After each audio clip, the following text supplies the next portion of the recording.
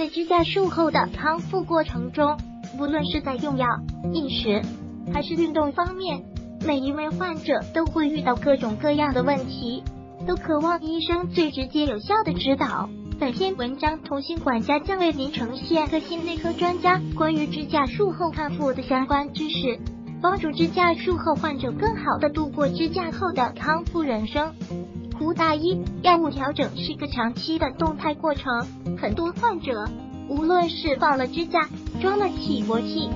还是做了搭桥手术，对于出院以后究竟怎么吃药、怎么饮食，都是一头雾水。胡大一说，谈到心脏康复，最重要的就是规范合理的使用药物。葛军说，打破支架手术后再狭窄的怪圈，葛院士特别提醒患者，在支架手术完成后，千万不可高枕无忧，还是要谨遵医嘱服药，注意自我观察和定期检查，并且辅以健康的生活方式。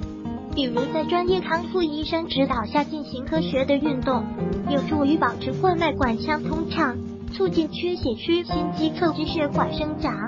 养成良好的饮食习惯，可以有效控制血糖和血压，保持情绪稳定，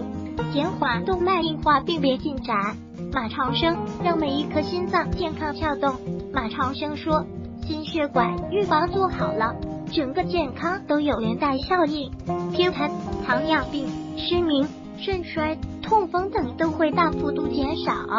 另一方面，每个人要从自身做起。其实心血管病预防很简单，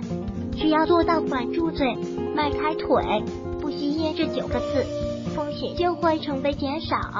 如果喜欢本视频，请分享并订阅本频道。访问 T T News X Y Z 获取更多相关资讯。